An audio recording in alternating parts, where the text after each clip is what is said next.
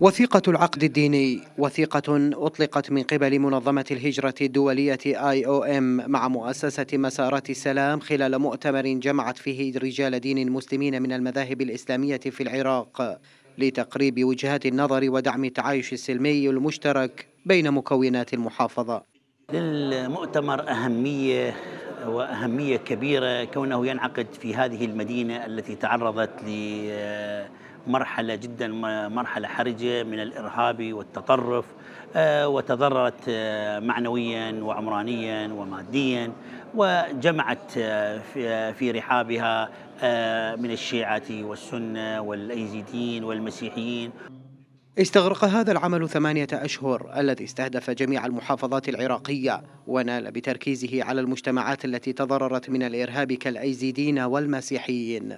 إرسال خطاب موحد إلى المكون اليزيدي في محافظة نينوى يعبرون فيه عن استنكارهم وشجبهم لجرائم داعش وعن وقفتهم مع أبناء الديانة اليزيدية في هذا المجتمع.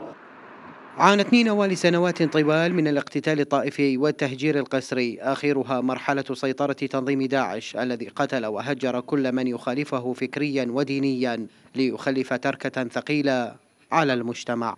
وصول لبرنامج لخدمة الدعم المجتمعي وراء السطع اللي حصل بخصوص الفترة اللي حكمت فيها داعش بالذات في نينوى.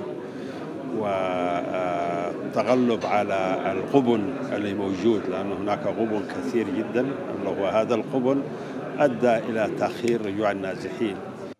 وتعمل المنظمات الدولية منذ استعادة الموصل على إنهاء الشرخ المجتمعي الذي أحدثه داعش بين مكونات المحافظة لكنها تواجه الكثير من العقبات نتيجة الخلافات التي لا تزال قائمة في بلدة سنجار.